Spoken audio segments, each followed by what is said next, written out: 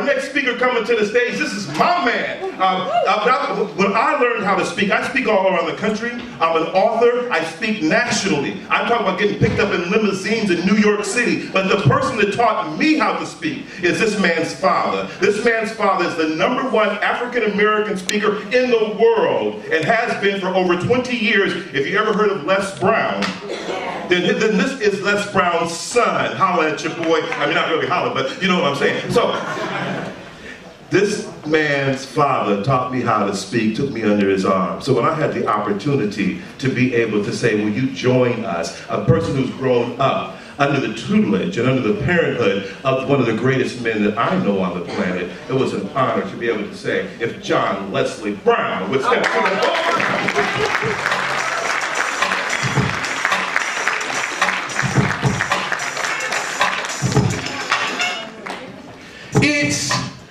your time.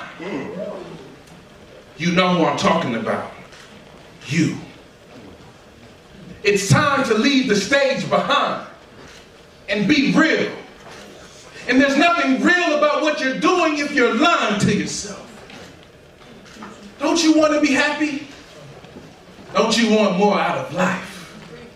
Well, then tell yourself that satisfaction isn't enough. All want fulfillment.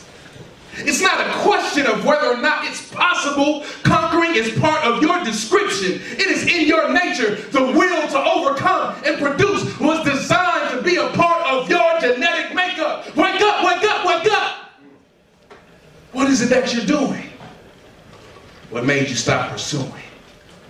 Sure, it's hard and it takes time. Sure, you might lose comfort and sleep.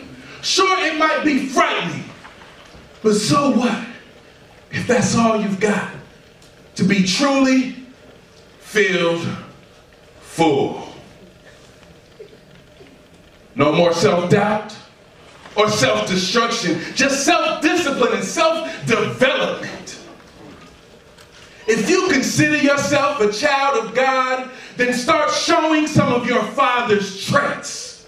Just do it and don't stop working until your life has meaning. I want you to talk with purpose. I want you to speak with passion. And I want you to say, it's our time. It's our, it's our time. Bring your energy up. Say, it's our time. It's our time. Yes, it's your time to be here in this room. It's your time to raise the bar on yourself. It's your time to make your parents proud.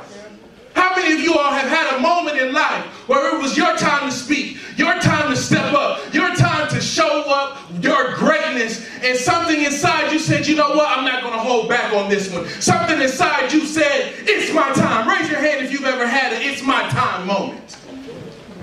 And the reason why you are here today is because this, this was designed not to be an event. This was designed to be an experience.